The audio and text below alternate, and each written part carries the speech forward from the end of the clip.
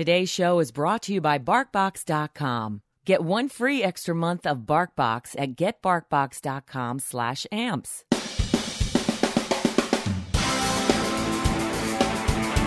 Neck throughs, guitars, they're like a guy that you won't have a beer with you. I want to hear what's pushing the notes.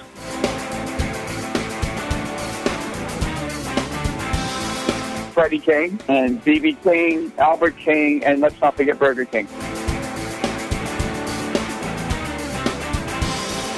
I don't want to blow my knuckle out. Stainless steel is the work of the devil. These go to 11.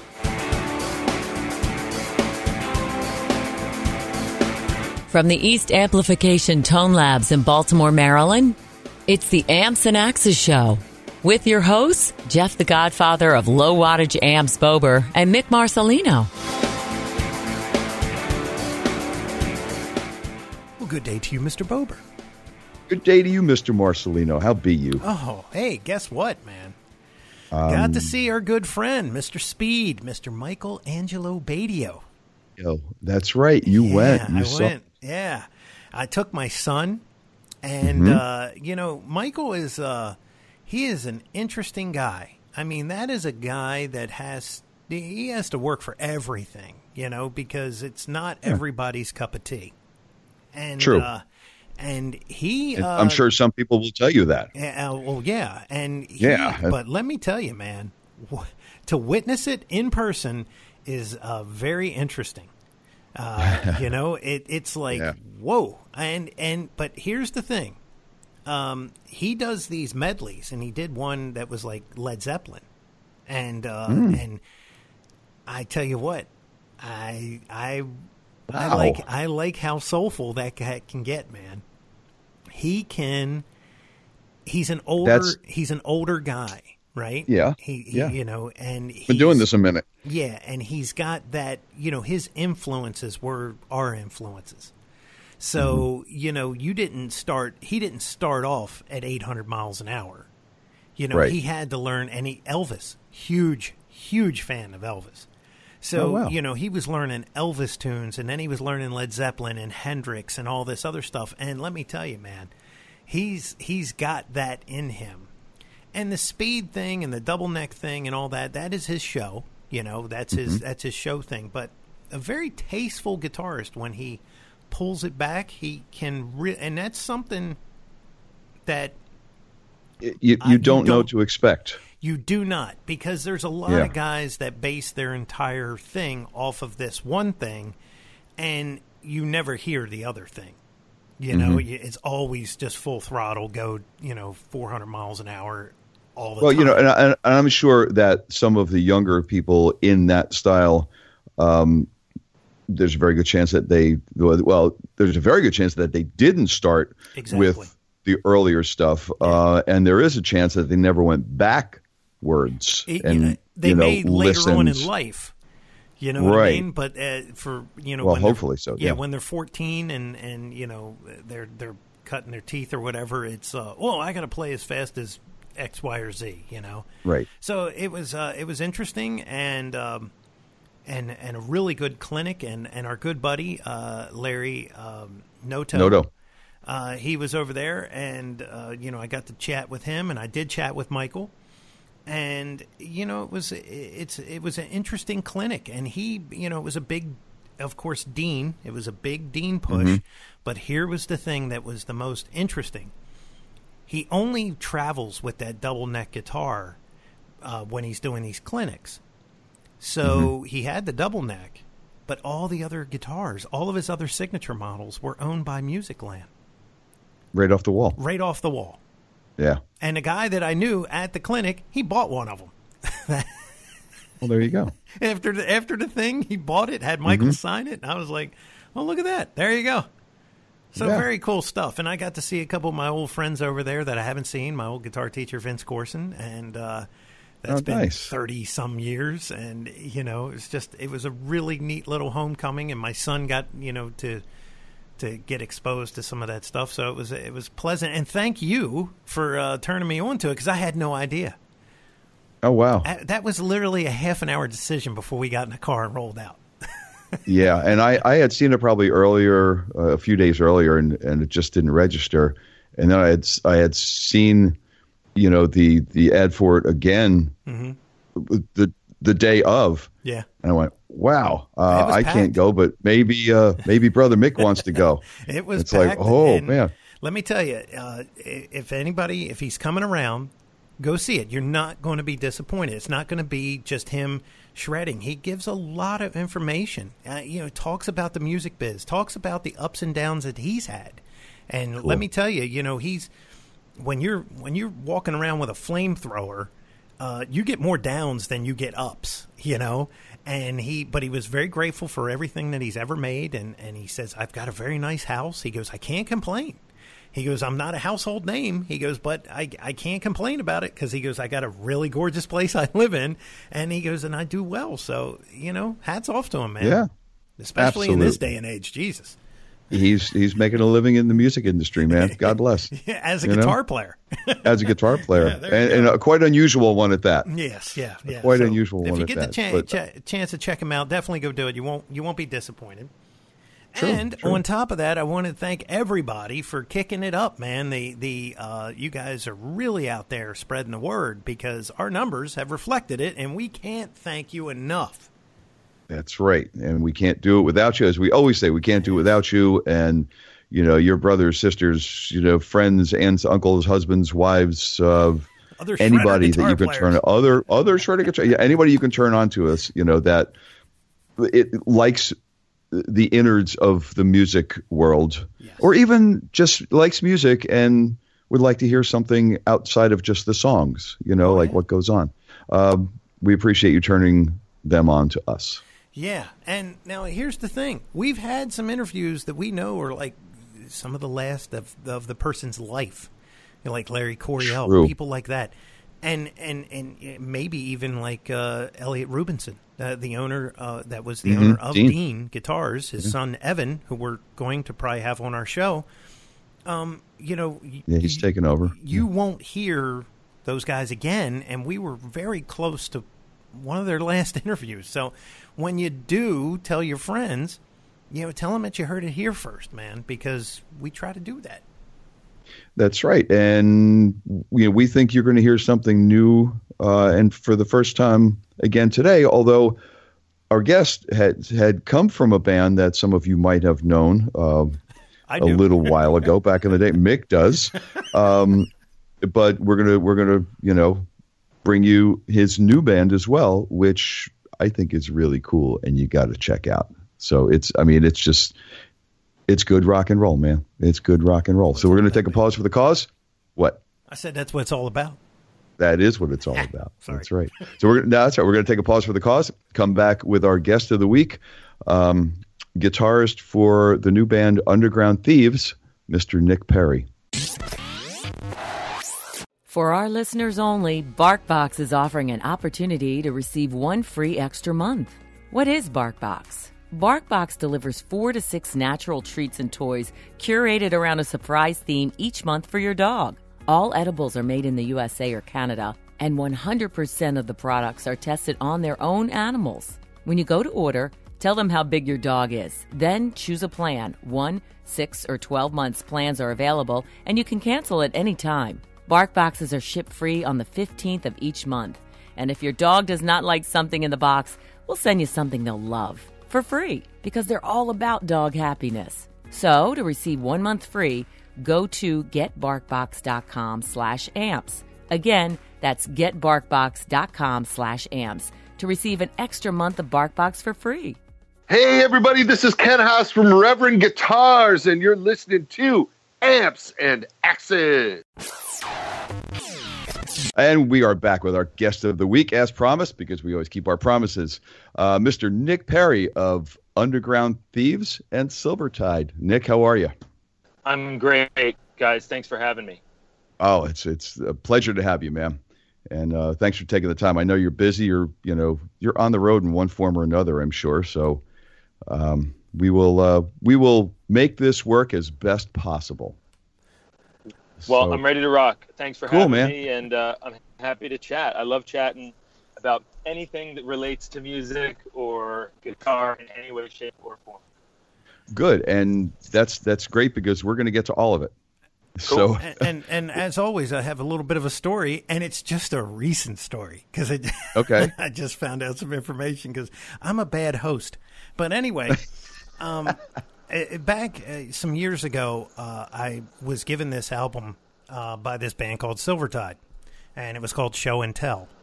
And I put it on, and I was like, "Wow, this is amazing." There's not a bad song on this album and uh, and I was like, guitar playing is just it's nuts. I mean, it's over the edge. You got a guy playing a like a single coil Telecaster, Stratocaster, and you got this other guy, definitely like more on the humbucker side, but it's straight ahead stuff. I mean, it's it's like wide open Marshalls, you know, just it, rock and roll. And it was it was really refreshing at that point in time because that album came out in 2004, and uh, and Nick, you were the lead guitar player, correct, in the band? Correct. Okay. Correct. so I so I was the humbucker guy. As Yes, You just referred and, to. and I got to see you guys open up for Tremonti, if I'm not mistaken. Alter Bridge, perhaps. Alter Bridge, yes, that's correct. I'm sorry, I stand correct That's on okay. that. But uh, that was in Baltimore, Jeff, in a converted parking lot uh, down, uh, God, right there under, like underneath 83 in Baltimore, Maryland. And, and I don't remember the name of the club, but it was like a parking garage that they kind of enclosed in the bottom, and there was a band Wow. in there, and uh, and these guys just crushed it, and I w- and and then all of a sudden they went away. You know, it was like they just they weren't around anymore, and I'm like, wonder what happened to those guys. You know, and uh, sure But we'll enough, find out. We're going to find out the real story. You there are. you go. So let's let's like I always like to do, um, Nick. Let's let's start at the beginning. Uh, we're going to jump in the Wayback Machine and find out where Mr. Nick Perri was born and raised, and how you got into this wonderful, wacky, fantastic world of music, man. So give us some history. Okay. Well, I am from Philadelphia, Pennsylvania. Cool. Um, I was actually born in a town called uh, Cheltenham, uh, Abington, that area, just outside of the city proper. But I went to school in the city. Um, you know, lived in the suburbs and and various parts of that area. But you know, I say I'm from Philly, and it's pretty good, uh, pretty good assessment. Sure. Um, I was from a very early age. I remember being six years old, and there was a rerun on. Remember those reruns on TV uh, of the Michael Jackson 25th anniversary Motown special or whatever it is. So Oh, yeah. we're going back to like the late 80s. And uh, it wasn't live because I, I believe it, that was actually filmed in, in 82. And this must have been, if I was six years old, it would have been 1990. So or, or around 1990 and I saw this thing on TV, and I didn't know at that moment from guitar, bass, drums, whatever. I just saw Michael Jackson on TV, and I said to my parents, "I'm going to be on TV. That's what I'm going to do with my life." Wow. And that was a pivotal moment um, because you know, 28 years later, whatever the math is, um, I'm still, I'm still, you know, in pursuit of that, in purs- not of being on TV. And I've been on TV many times, and I'm very grateful for all the for all the stuff that I've done and, and the opportunities I've had. But I'm still chasing down the pursuit of a career in the arts, you know, in music, and um, more specifically, so I was raised in kind of, you know, kind of a quintessential conservative household. Um, I went to Catholic school with a shirt and tie and the whole bit, and I was not really exposed to rock music until I was probably about 11 or 12 years old. My aunt, my mom's sister, Terry, aka the Dode, this is a true story. It was Thanksgiving of whatever year that was. Okay. And under the family table on Thanksgiving Day, you can't make this up. Under the table, my aunt hands me two cassette tapes. One is ACDC Highway to Hell, and the other one is Pearl Jam 10. Wow. And let me just tell you that it was life changing, to say the least. Wow. Wow. And I've I've never been the same person. Well, since. well, I've you- never been the same person. You know, Nick, that could have went horribly, horribly wrong. It could have went the other way, you know, and uh, ruined you for life. So, uh, yeah, you know, I could be homeless. That's true. You know, it's Um, it's it, it's all in how you look at things. You know, it's all in how you look Yeah. at things. Well, I just That's cool. I fell in love not only with rock and roll, but with the sound of the electric guitar. And to, to this day, I'm obsessed with the sound of an electric guitar. You know, it does something for me. It makes me feel a certain way that is hard to, you know, really specifically put into words, other than it just gets under my skin and it makes me feel high. It makes me feel amped up, you know, in a really natural way. And my my memory is that I didn't even know what a guitar solo was called. I just knew that when I heard a guitar playing melody, when I heard a guitar, you know, doing a ripping section of a song, I was like, that's it. Specifically, that is my calling. And you know, came to find out later that yeah, that's a guitar solo, and this is you know, you know, that's Angus Young and all this stuff, and blah blah. But from that moment on, I knew what I was going to do with my life, and I've never really looked back. I've never really ever pressed pause. It's just been kind of full pursuit since that moment. So you uh, decided that that's so what yeah. you wanted to do. When did you pick up an instrument? Or was your first instrument a guitar? Yes, it was a guitar. Probably a month later, I convinced my parents to get me a guitar. This was I was 12 years old, and Okay. um, I know that this may sound a little ridiculous, but uh, it just happened really fast. I just picked, just you know, got into it in a big way, and it, it spoke to me, and and I, I didn't really have trouble learning how to play it. I'm not trying to sound like a, you know, like an ego guy, but like it, it just there was some connection I can't explain.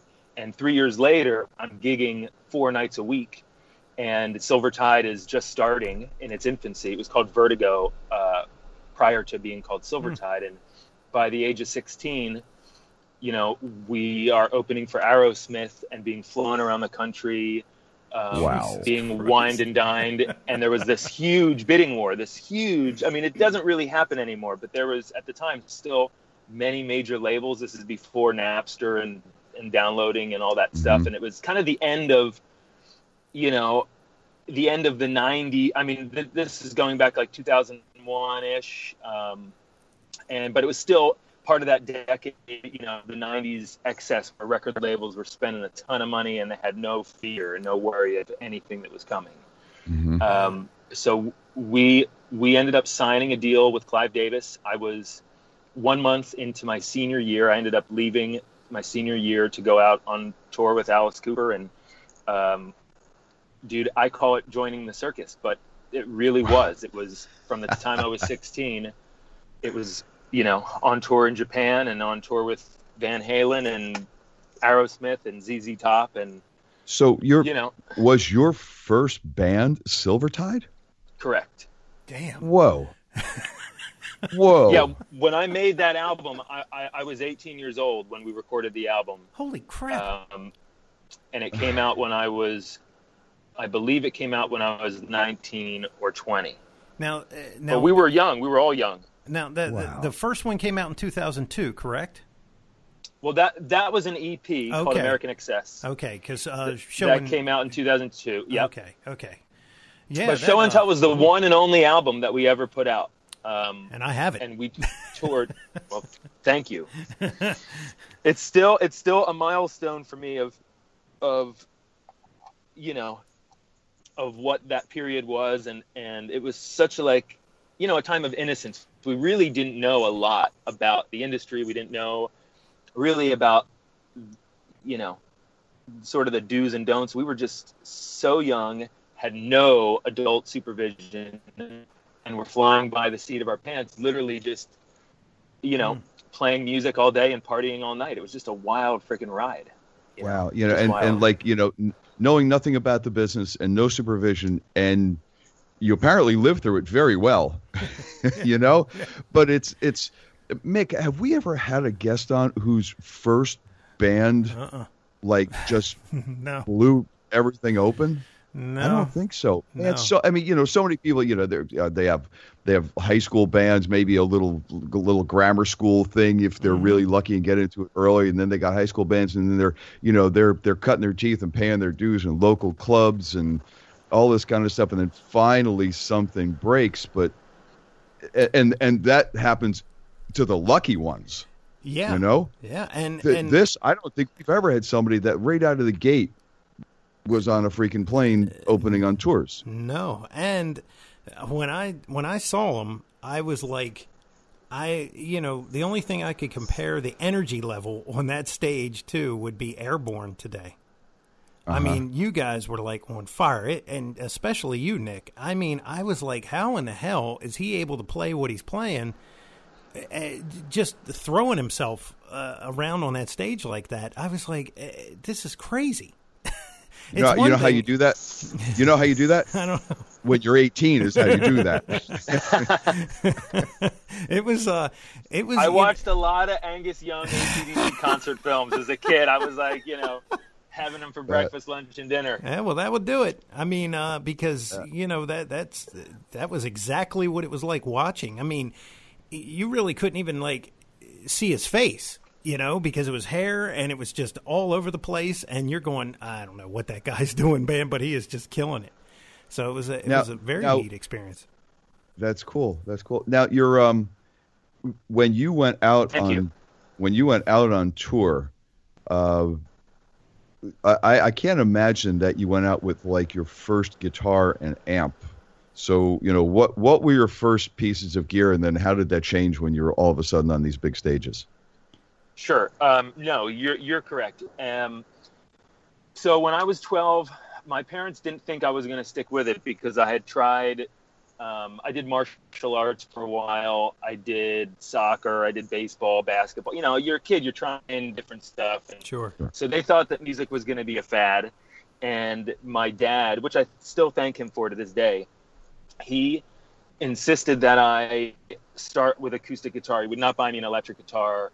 And in fact, my first guitar ever was a rent. My parents rented it. They didn't think I was even going to stick with it long enough that they should buy one. So I, they Mhm. rented me a nylon string classical guitar, which, you know, was the hardest thing in the world to play.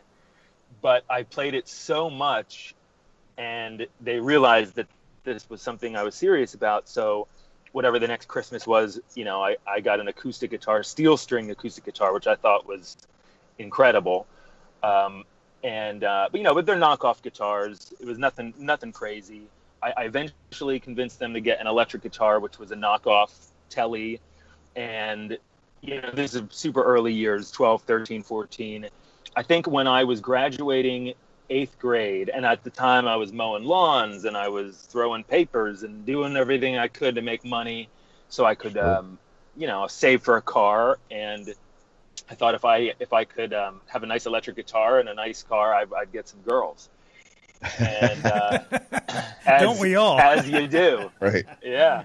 you know, I still think that. So, um, anyway, I like um, So, so I I scrabbled my lawnmower money, and my parents chipped in a few bucks for my graduation present. And when I graduated eighth grade, I bought slash they bought a Gibson SG Standard in cherry, just like Angus's. You know, Oh, had to have it nice. There you go. so that that was sort of the first thing and i played that guitar through all the early shows i eventually got a, got another black sg that i played in the early days because we were gigging on south street it wasn't like we went from my bedroom to the tweeter center it, it, it was you know we started playing a residency on south street which is like the melrose or the or sunset strip of la to give Yeah. people reference who don't who don't know south street um, so you know we started playing one night a week on this residency and then we were picking up other nights and eventually it was four or five nights a week and i was still a, a junior in high school and getting very little sleep and staying out with friends um, you know male and female friends and then having them drive me to school the next day. It, it, was a little bit of a crazy time. And, and um, so, so I'm getting off track. So when the band got signed, okay, we, again, this is, this is the time before, you know, the kind of crash of the industry. So it, it and, and there was a bidding war. So it was a big deal and we all made, you know, some money. So my parents were like, well, look, you can't spend all this money. It's ridiculous. You have to save it, put it in the bank. And I said, well, what if I save some of it and I invest some of it in, in gear and guitars and amps and stuff like that? So that's what I did. I bought, I bought quite a few guitars and amps. I bought a, um, a 71 Super Lead Marshall. I actually bought Oh, a couple of them, but, but one of them in, in particular uh, that I used all the time and a, a 4x12 from the 60s. It was a tall cab, so you know, just a little bit Really? taller than your average 412. Oh, Um, nice. and I've got some photos and stuff I can send you guys. Um, and I occasionally post stuff from my, you know, on my Instagram of from all eras of, of my life. But, um, you know, I bought a bunch of guitars. I bought a bunch of Gibson Les Pauls and SGs. I bought a Flying V. I bought, um, you know, a couple Strats. And so I, I, I had the gear kind from very early on. I was pretty obsessed with gear and pretty obsessed with tone chasing, which I've never. I'm still chasing it. I was chasing it 10 minutes before we called. You know, we spoke or the call started, whatever. Um, so, so when we hit the road, I had, you know, I had a few nice guitars and a few nice amps, and I was kind of off to the races. And your ear assessment, Mick, um, was really good. So I was the humbucker guy. I was mostly playing Les Pauls and, and SGs, and then eventually, when I got into Johnny Winter, which blew my mind, You had the I old, had uh, to have a Firebird. Yeah, man. Oh yeah. So I was playing Firebirds for a while, um, but I was the I was the Gibson Marshall guy, and Mark Melchiorre was playing Tellys, and he was the Vox guy. So he was playing a Vox AC30, an old '62 um, AC30, and and I think he had a thin line Telly and, and an Esquire. So it was the Telly, Vox, Marshall, Gibson kind of uh, dynamic with Silvertide. Pretty perfect. If that helps to answer. Yeah. Yeah. Yeah.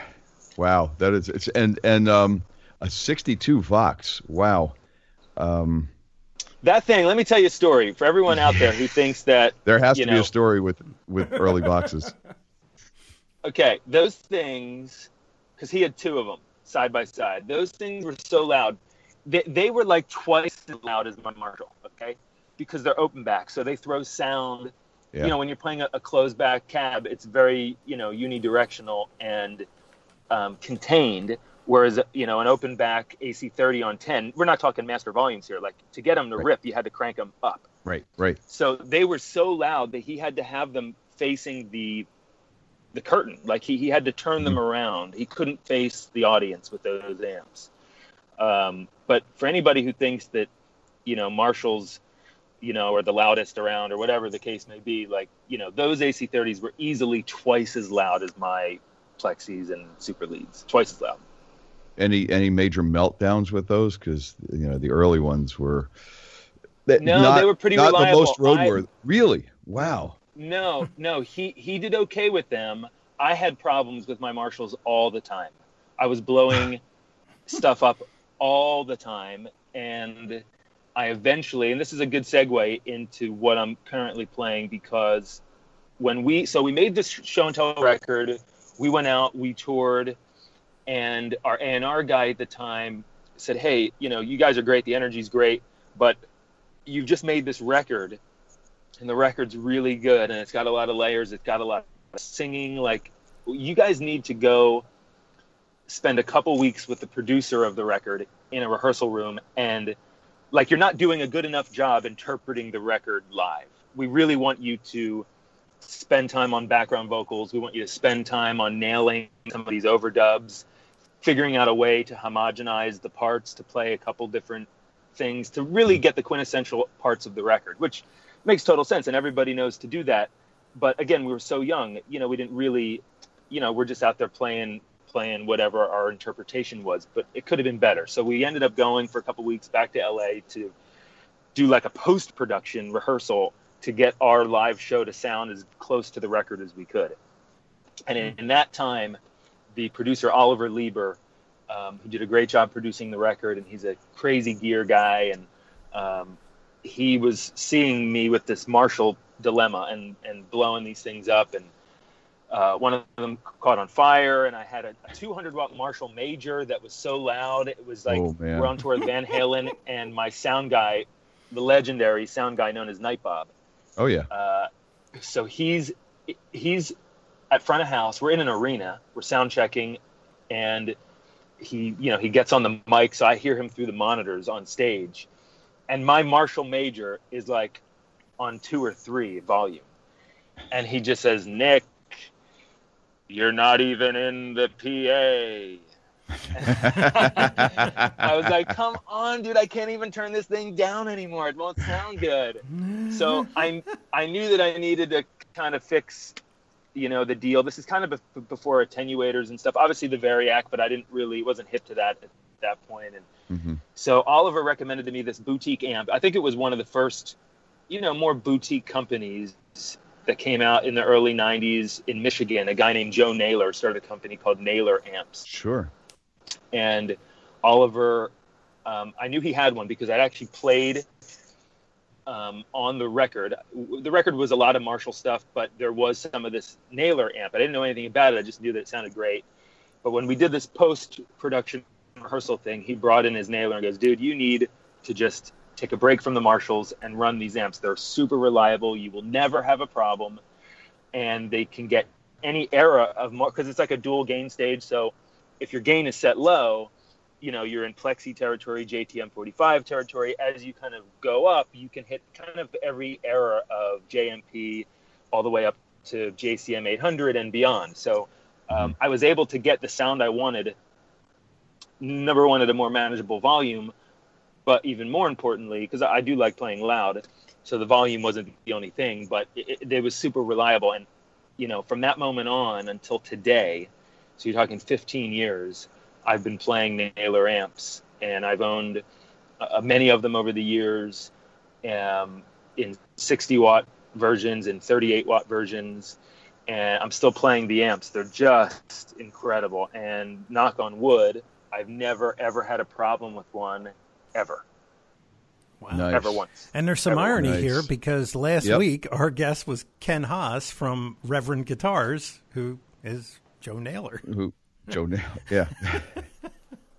That is that is awesome. I've never met him. I, I, I'd love to shake his hand and just tell him like, "Hey, dude, uh, you know, whatever you designed in your garage, you know, has like rocked my world for 20 years or whatever." But um, Yeah. He was, one day. he was definitely one of the earlier guys. You know. yeah, Uh, and they're I- they're they're sorry, go ahead. No, I was. You know, there there was, it, there were guys that were, you know, in in the amp world before him, like you know Diaz, Cesar Diaz was doing stuff. Um, um, You, Jeff, uh, you. Gerald Kendrick. Well, yeah, yeah. Uh, Gerald Weber from Kendrick, uh, Mike Soldano. You know, all those guys were kind of out. We're all out about the same time, and you know, it's just blown up from that point. But Sure. uh, yeah, yeah. Well, that's Joe what I meant. I didn't mean that he was the ones, too. first one, but it, it- we live in an era now where you Oh, can yeah. get anything you can dream of. Someone's making, you know, a version of anything that you could ever imagine. Right. Oh yeah. And you know, back then it was you know a handful of guys that were really, you know, it was a much smaller uh, market for boutique gear. Now, now my, my partner here, he's he's uh, he's very modest, but he was the designer and uh, part. I guess you were a part owner, right, Jeff? Or Yeah. Oh yeah. yeah, of Budda amplifiers, if you remember them. Cool, I and, do. And now he makes East amplification. So if you want to melt your face, you got to get a hold of his 50 watt East. Well, you can melt your face at lower volumes. You too. can, It's you can, fine. you can It's melt fine. your face with the two water if you want. Uh, but uh, yeah, if I remember the quote correctly, um, Joe Bonamassa said that's the loudest 50 watt amp I've ever heard wow. amongst his Killer. other 100 watt amps. Yeah, he, he said a few things. Yeah, a few yeah. people have said a few Yeah. things. yeah, they're very So- loud. Well- uh, they have great volume. Great. Well, I will when, when we uh, when we hang up. I'll, I'll I'll do a deep dive on on your company, dude. Well, there you go. There you go. That would, you know, I would welcome that. I would welcome that. Uh, so where uh, where we, we, we were um, okay, we were at the the gear. Uh, you were in the studio doing pre-production, uh, and you got the Naylors and the vo- were the Voxes still hanging in there? Yep, Voxes made it through the whole run with Silvertide, um, and I I switched over to Naylors, and like I said, I kind of never looked back. But we toured that record, um, you know, we toured that record for three years nonstop. We had a few days off for Christmas each year, Mm. and it, it really it hurt us. It it hurt it it helped in that we grew a loyal fan base that even now is still is still with us and some of us as we've continued on and we sold a lot records and I'm very grateful for that but we were overworked and when people are that close together for that long you know it starts to you know put a strain on relationships especially if you're young and you don't have the experience of life to know you know mm-hmm. as you get older you gain wisdom in that if you find out that something bothers someone, you know, you do your best not to do that thing. When you're young, you know, I don't know if uh, you're allowed to curse on this show, but Oh, yeah. you're, you're a dick. You're a dick, you know, and and you're like, oh, this guy doesn't like that. Let me do it again. I think that's called And- testosterone. See, when you're Totally. six, when you're 16, it is it is running out of your hair follicles. It runs you. Yeah, I mean that you know you. uh, if you know when you look at I always say when you look at guys when you look at people that do crime, there is actually uh there there's like a number. Right? It's like 14 to like, you know, 27. And uh, that's where, you know, most guys just can't control their stuff. And, and, Yeah. and, you know, you will, you know, it's like, hey, dude, that, that hurt when you stuck me with that straight pin. And then you stick them four more times. You know, it, Yeah. it's, uh, but when you, when you get in the 30s and all, you, you start to feel the pain. You know, comes Well, back you know what's you. what's what's the, Mick? What's the phrase that always comes up on this show when it comes to touring? Don't be a dick. Don't be a dick. right. Don't be a dick. Yeah, well, we were all dicks. I mean, you know, look, that's not entirely true. We're, we're, we're all, I'd like to think, good-hearted people, um, and and none of us have malicious intention in mind in any way. But but we grew up together. We went to high school Yeah, together. Just so like a bunch of brothers. there, it was a bunch of yeah, it was stupid shit. It was brotherly love and and you know when you pick on somebody that kind of thing. Yeah, yeah, So sure. it wasn't out. We, we we weren't you know dicks outward to anybody around us. It was Right. it was all internal between the five of us, and relationships got strained, and simultaneously there was this kind of coup that happened at the label, and Napster hit, and everybody lost their mind, and um, there was some, you know, I looking back, there's a million things that went wrong. It was the perfect storm of things that went wrong, and I was 22 years old, and I woke up one day and it was over. The ride was over. You know, the band was done. We were dropped, which is crazy to sell 300,000 plus albums and and lose your record deal, but it happened. Wow. And um, you know, talk about, you know, I have no life skills. I, I dropped out of high school. You know, I'm 22 years old, and I have no idea in the world what to do. Mm. I'm sitting in Philadelphia and I had no idea what to do. I knew I had to keep playing guitar. That's about it. But um, it was gnarly. It was like the rug got pulled out from under us, you know. Oh, yeah. Wow. so if that you answers know- your question, why we went away, that's why we went away, Yeah. more or less. Wow. It just the record business in general. And it's like, you know, I was I was I was, you know, drop jawed with the the quick success that you guys had. But this is the exact other side of it. Oh yeah. Dude, Boom, totally. done. Yeah. Like Totally. wow, and, man. and the irony behind that is, if you sold three hundred thousand units today, you're doing really well. Oh, dude, Muse sells 300,000 albums, you know, in America. Yeah. It's like they're the biggest rock band Oh, yeah. in, in, in, in the world. So it's a totally different time. It just, you know, Yeah. It, it- it really puts it in perspective to where we're Yeah. at, you know. Absolutely, absolutely. So um, I am. You know, from what I was seeing, I imagine that you did a bunch of work with other artists before uh, Underground Thieves came to be. Yeah, so I'll, I'll sum it up pretty quick. Um, and you know, if people want more of the backstory, they, they can certainly go search it out. But um, I, I moved to LA um, when I was 22. Um, I slept on a friend's couch. I was just trying to figure out my life and what I was going to do. I, I, was fortunate fortunate enough. I did land a gig playing guitar for Perry Farrell. Mm. Pretty pretty quick into it, like three months into my LA adventure, and that kind of gave me the confidence, you know, that I was going to have, you know, that it wasn't a fluke with Silvertide, that it wasn't, you know, that I, Mhm. that I had something to offer Yeah. because you know when, when you're young you know and you know we all have insecurities and we don't know sometimes our ass from our elbows so you know you're just figuring stuff out as you go. So it was a good shot in the arm that i needed. And i toured with him for about a year you know playing all the Jane's Addiction stuff. It was a true honor. I loved the experience. I then joined a band called shinedown and um, toured with them for a year all Yeah. over the world 40 countries and all this stuff. Yeah, they're a Um, little known band. Yeah, a little yeah, little band, and I love all those guys. But truthfully, the reason I left both, um, and again, you know, uh, you're just you know growing as a as a person, as a human being, um, and finding yourself and figuring out what you want to do and what you don't want to do. And ultimately, I realized for me to be fulfilled creatively, that I had to be playing my own tunes. I'm, I've always been a songwriter. I wrote or co-wrote, you know, everything that Silvertide did. I wake up every day. I write songs.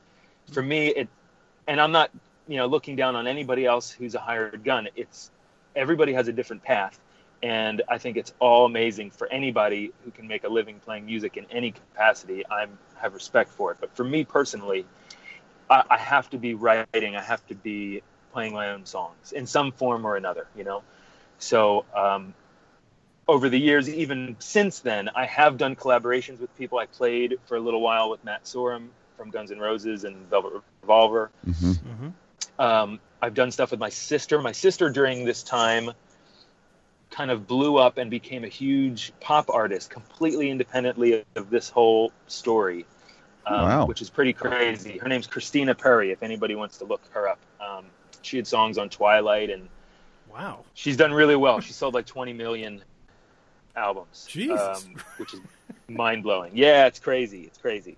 Pop is just a whole other world. I'm very proud of her. Oh, yeah. She's done very well, and I've I've done some stuff with her. But you know, it I, I kind of had to go full circle. And when I um, I, I, I tried to get a couple other original bands off the ground, but you know, it's hard. It's really hard, and I learned just you know, like you said, things came on pretty quick. It's not like, you know, we didn't pay any dues. We we did slug it out in the clubs for for you know a couple years while I was still in school, but but relatively, like you said, Silvertide got success pretty early on, and um, if I thought there was going to be a repeat performance of that, I was you know in for a, a rude awakening. so um, I had a couple, you know, a couple other bands that that um, I thought were great, but just couldn't connect uh, and get to the next level. And then when I was 30, when I hit 30 a few years ago, I became a dad in the same month, and that was kind of my crossroads moment of just like, look, I need to get back to doing what I do, and not give a crap about anything else. Like bluesy rock and roll, 60s and 70s inspired rock music, guitar music, you know, with of course great melody and great songs leading the Mhm. charge, but stuff inspired and that comes from that that vein. That's where my heart is, and I don't care if it's cool. In fact, it wasn't cool even when Silvertide was. It was 2004. What? So you had Limp Bizkit and Britney Spears. Like it wasn't cool then, but Right. but I have to do it. I have to pursue my what's in my heart, regardless if it makes money, if it brings me success. I'd much rather play to you know 500 people a night and play what I love than play to 50,000 and and be putting on some facade and be you know doing something because I think it could make money or be successful or whatever. So Well, you know, and you're there's like this little weird thing that's happening right now, and it's a good weird thing because you got bands like Tyler Bryant and the Shakedown, and you got Greta Van Fleet, and you know these guys are doing that. Blackberry Smoke, yeah, well, Rival Blackberry Sons. Smoke. We've sure. had we've Yeah. had Blackberry, we've had uh, both Charlie and uh, and uh, uh, God Paul Jackson. Paul. Paul, Yeah, we've Paul. had both of them on, and uh, yeah, man. I mean, you know, that is the. You, me and Jeff always say this. It, it's a very refreshing thing because there's, you know, there's very defined defined lines in a lot of music. Um, even though you know they'll give it titles that don't make any sense, you know, uh, but of what it is. But there, there really is like you know this huge metal surge that takes place. But these guys have to play you know festivals for you know eighty thousand people in Germany. Um, you got the pop world, which that is a whole nother land that you know it, it, you never know what's going to be going and what isn't. And then country is just like a whole nother story because those guys are like NASCAR. Because it's like Right. no- Yeah. you, you don't know anybody that watches it, but it's the biggest thing on television. You know, and, and you're going, you know, and you're just like, Who's buying these records? Who are these people? who in the fuck are these people, man? you know, it's like it, it, it's pretty unique. Now, I'm not busting on country music at all. I, I like a lot of that stuff, but it is it is one of No, those I things know. that that's a whole world. You know, that's their own. Yeah. That that's their own thing, man. And they were not about to go away. And boy, they were really good at it. Um, but the rock and roll side is the side that you know that that's the piece, man. That that is the I don't know what you would call it, the, the juice that made this country.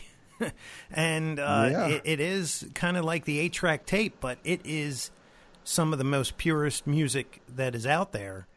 Even and, and in today's standards, absolutely the most purest. You know, and I, I, I'm just I'm just hoping um, that at some point we see a machine behind it because there's a machine behind country music. There's a machine Oh, behind yeah. pop. Yeah. You know, Yeah. all of that. I just hope that you know. I mean, God, I, I, I hope it's I hope it's underground thieves. You know, but somebody Yeah. has something that starts to break big enough that this these machines go, hmm, yeah, you know, because uh, Yeah. there's there's not a lot of push because there's no record companies anymore that that used to get behind all really good bands with good musicians and good songwriters and good vocalists and everything. Mm-hmm. There's just this machine that's behind things that uh, are popular and make money today, yeah. and that's that's, that's, ex- exactly that's exactly well said and exactly true.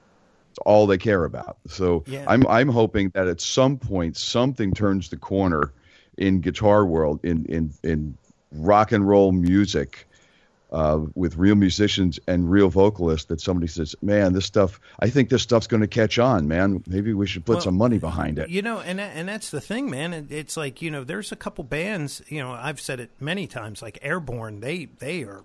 You know, they do very well over in Europe. I mean, Europe seems They to do be- well, but there's nobody on the caliber of of you know the machines. There's nobody Oh, backed by the machines no. that, that are backed behind the pop and the and the country. Oh, a- And it's- absolutely not. No, it's and di- that- it's a little disheartening for people like us that love Sure.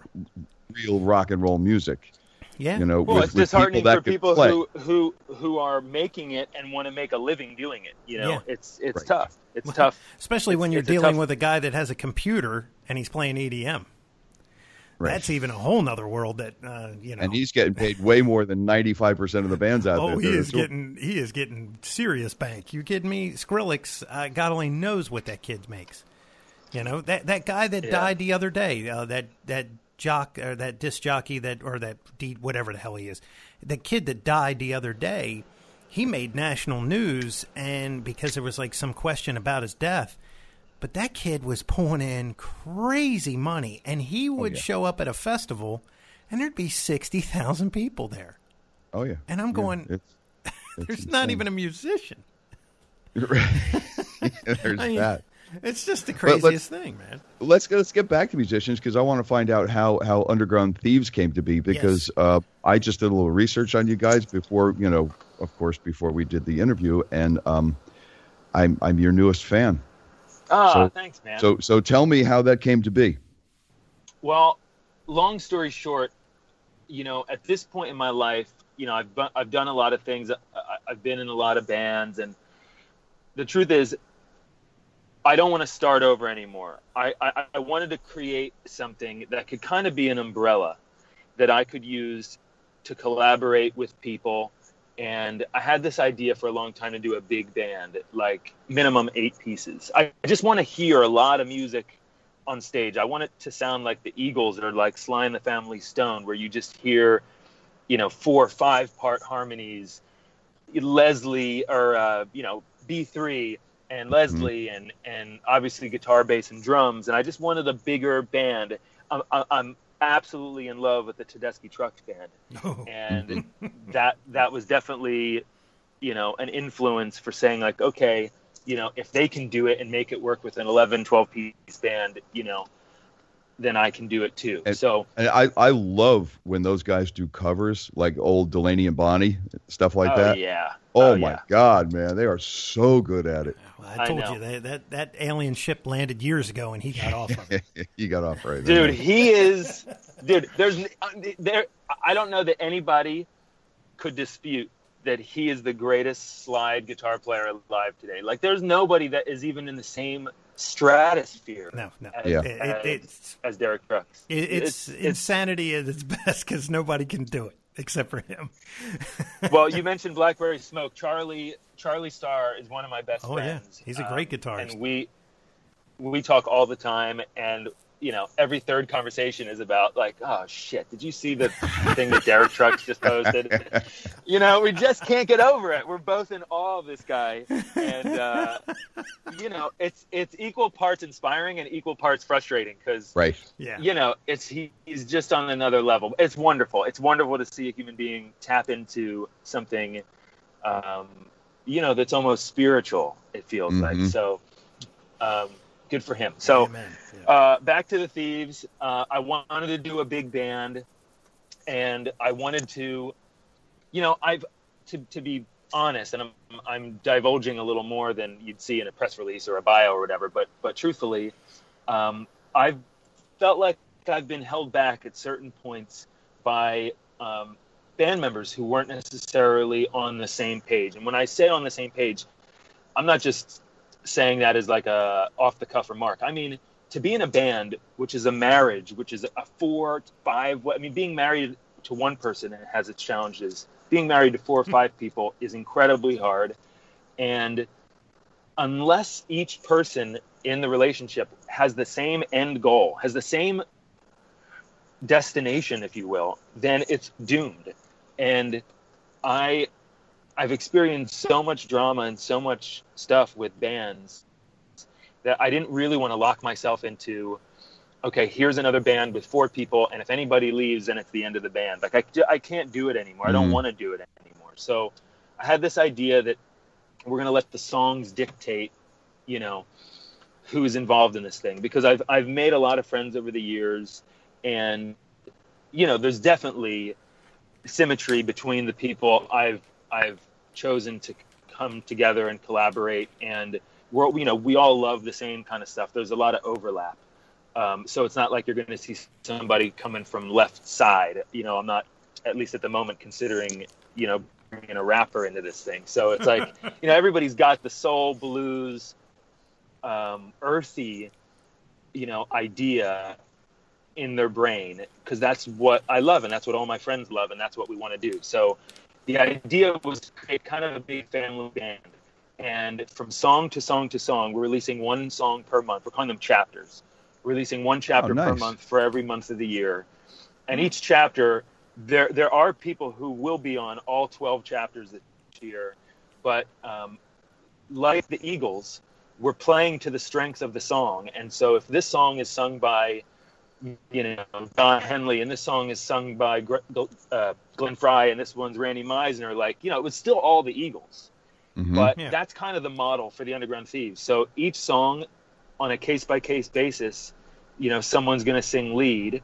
And whether that's Walt Lafty, who, by the way, I'm reunited with for the first time since Silvertide, which is incredible Awesome. and Brian Weaver, also from Silvertide, is on bass. So it's the first time the three of us are together since Silvertide, and, and they're part of the Underground Thieves. Now, Walt But is on a the uh, keyboard player. Walt's the lead singer. Well, he was the singer of Silvertide, and he's singing lead on many, not all, but many of the chapters of the Underground Thieves. Oh, okay. Okay. So he sang he sang lead on the second single called Everybody Wants One, and he's singing lead on the fourth single, which is coming out uh, in May. So um, the idea is that you know it's going to be a little bit of a rotating thing, but we're playing to the strength of the song. So if if Walt's not on lead vocals, like on chapter one, he wasn't on lead, but he's on background. My buddy Sal is singing lead on that song because his voice felt like it was best for that song. Another great example is the band, the band, the band. You know, Mhm. they some songs Levon would sing, some Right. songs Rick Danko, Danko, would sing. sure. Yep. So so that's the idea is a kind of a big family band, and um, over time, I believe this will allow me to bring people in who I feel are right for the song. If I want a pedal steel on a certain song, I'm going to call somebody to come in and play pedal steel. If I want, uh, you know, horns on a song, which I definitely are already in the works, um, songs that have horn parts, and you know, I can bring people in and give people an, an experience of of like this is a, a gang. It's a it's a it's a gang. I'm calling it a gang of misfits from the Southern California desert, but that's you know, it's it's this gang of people that are coming together to make music and hopefully make people feel good, you know, and and that's really all I want is to make people feel good with music. There's enough shit going on in the world that's heavy and dark, you know. I wanna I wanna make people feel good, and I'm not saying that all the songs are super happy sounding, but I'm just I want to move people with music in a positive way, and I want the thieves to be the vehicle for that, you know. That is awesome. That is a that's a fantastic concept. I mean, you could have just called it, you know, the Nick Perri project, you know, because that's in essence what I guess it is at the core. But uh, you know, it put a name on it too. It, it's equally as good, and you know, it's it's probably a you know, um, uh, a little less egocentric, I guess, which is is probably the way you want it. Yeah, You know, exactly. Yeah. Exactly.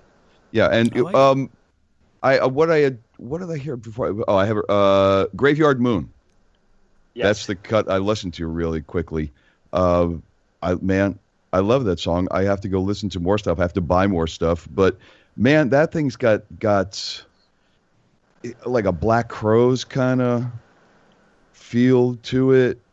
And uh, who who's singing that? So my buddy Sal, uh, his his name, his stage name is the Brother Sal, and he's an incredible pianist, organ player, and singer. Right, he does keyboards um, on that too. Yeah.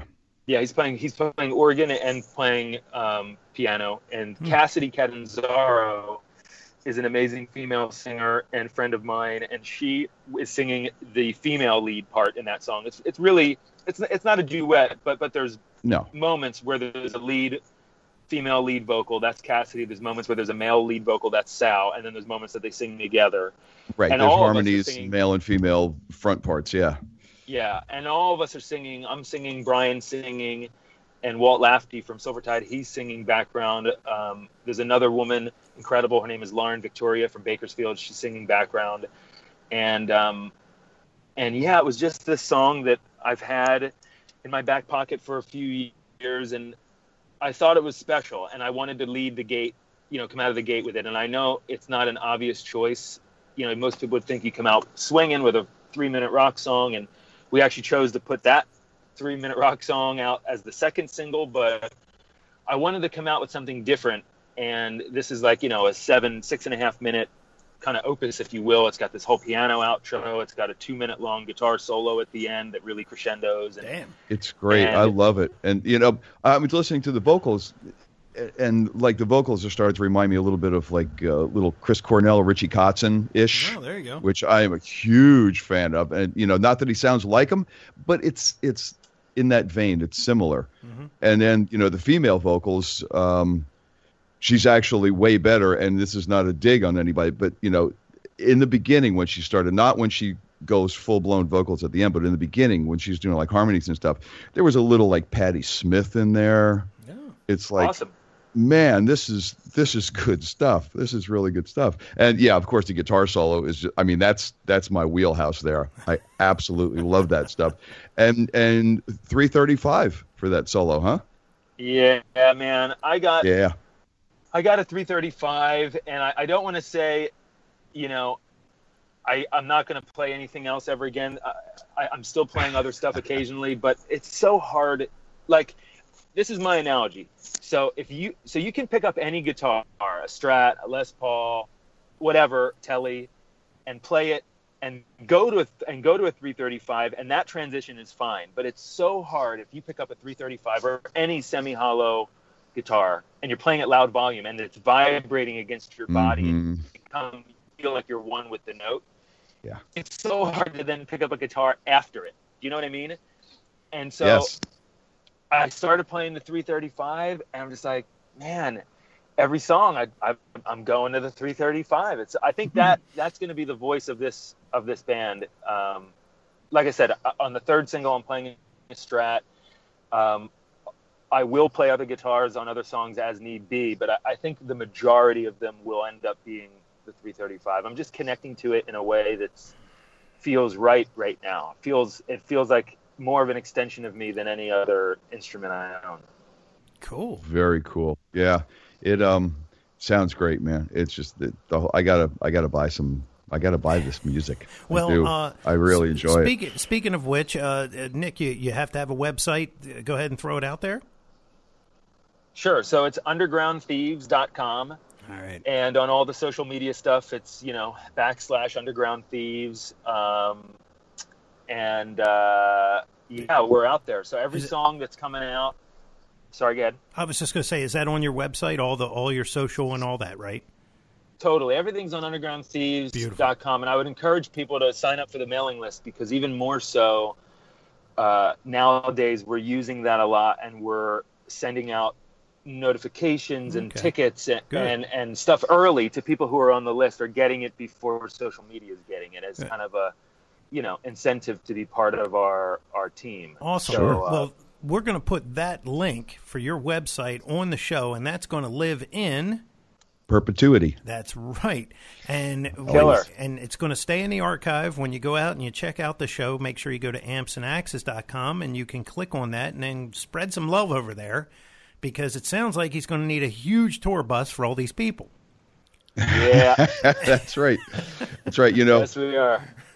it, this band is uh, ob- obviously out there to to do the biggest and best job that it can possibly do, um, and it takes a little extra money to do it that Oh way. hell yeah, it does. So support Especially the as. Hammonds, you got to carry one of those damn things around. You may as well forget about it. Oh, man, totally. Well, we're um, we're excited. We are, we're playing our first um, few shows in a couple weeks. I'm actually heading to rehearsal right now. Um, we have our first show ever in New York City. We're headlining a place called the Cutting Room, right. and then we're playing in Philadelphia at the Ardmore Music Hall. That's May 10th and 11th. Those are our first two shows. Then we're going overseas to play in the UK, and then I think we're going to do some West Coast stuff in the fall.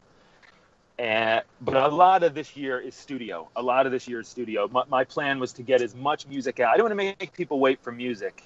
Um, I was in a band before this, and, and there was a debacle with the label, and the record was held hostage, and all this and that, and people had to wait for a long time. And I, with this, I just wanted to lead with music. So here's music, here's music, here's music, here's music, and give as much music, you know, put as much music as we can out there. I think most of 2019 will be you know on the road but at least for this year you know we are going to play some shows we're going to have some fun on stage uh, Awesome. and get that going but it's going to be a, a lot of studio and a lot of music releasing which hopefully people are you know are excited about Hell yeah, man. Well, I'm I'm really excited because there is the chance because we were planning on going north the um, the weekend that you guys are actually doing those two shows, and there is a snowball's chance that I'll see you in Philly. Look at that. well philly is my hometown and it's going to be off the hook I bet. Oh It yeah. is going to be off the hook. We're playing the Ardmore Music Hall, which is a really Damn. cool venue. Um, it gets really great acts through there. I think George Clinton was just there um, Nice. last week. It's it's a really cool room, and it's you know one, two, three, four, five, six of our hometowns. So Sweet. it's that's going to be the one to uh, if you Wow. can make it, man. Love to have Wow. you. Very Email cool. me and let me know. Email me. On, Sure. Yeah. Sure. Absolutely. Um, cool. Awesome. Awesome. Well, I, I think we've covered all the bases, and uh, All of I have a feeling uh, I have a feeling uh, we'll be uh, speaking again. Oh hell yeah. So Anytime. I'm I'm, I'm I'm- looking for this to go far, man. I just I really enjoy this band.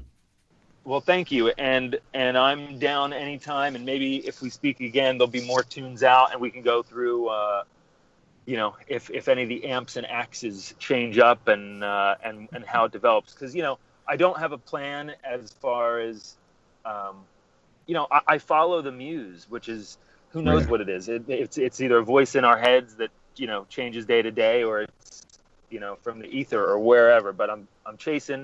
I'm following the muse, and wherever it takes me, I'm going. So uh, I think there'll, there'll there'll be more to share as this thing unfolds. Well, I hope you have a wonderful trip, man. Yeah, man. Thank you You very know, much. I hope it's long and successful. Yes, sir. Thank you. And there you have the story. Okay, so uh, the, here's here's bad pad podcaster Mick. Look, I No, I, it's all good. man. I all admit good. all my faults, and believe me, if you want to hear them, we don't have enough fucking hard drive space. Oh, so it, uh, you guys just line up, and I'll just you know you can just email me. Uh, I totally uh, have been so cranked up with my normal day job that I totally didn't even get to look at his thing, and I was, No, no, it's- you know, and it was one of those things. And then when I, I- found out he was in Silvertide, I'm like, what the hell? Because I was a You know, huge, huge fan of that band. And I'm usually the one that doesn't have a lot of R&D time. Well, you know, hey. search time. You know, so um, I'm I'm glad that I did because I you know once I looked in, I went, man, Badass, I dude. really dig this, Yeah. man. I really dig this. I can't wait. Badass crew over there, man. Let me tell Absolutely. you, you, you guys got to go back. You got to find that Silvertide album. That is a kick-ass Mm-hmm. album, man. You won't regret it. I guarantee it. And just what a nice guy, you know. Yeah, totally, man. Totally. Yeah, that, that uh, that's a cool story, and I- and you know we're gonna have to, ha- like you said, we'll have to have him back on because I'd like to see that actually succeed. You know, and anything Me that we can do to help that and perpetuate that, then absolutely. You know, and he's close; he's not far away from us. You know, he's he's right up the road there, so that's that's a beautiful thing. Well, he was originally from there. He yeah, might yeah, still be in Eh, LA. it could be in LA. But- it's expensive to live out there. You know. It, it is. He should move back to Yeah, hell yeah. Philly. move back to Philly. So, Well, you know, well, man, there you go, man. That's a There beautiful That was- thing. I got the story. How about that shit? There you, absolutely. now you know. Now I know. Now you. That's right. So until next time, my friend. When one or both of us will know more. I'm Mick Marcelino, That's right. Uh, still Jeff Bober. and we're always saying. Onward.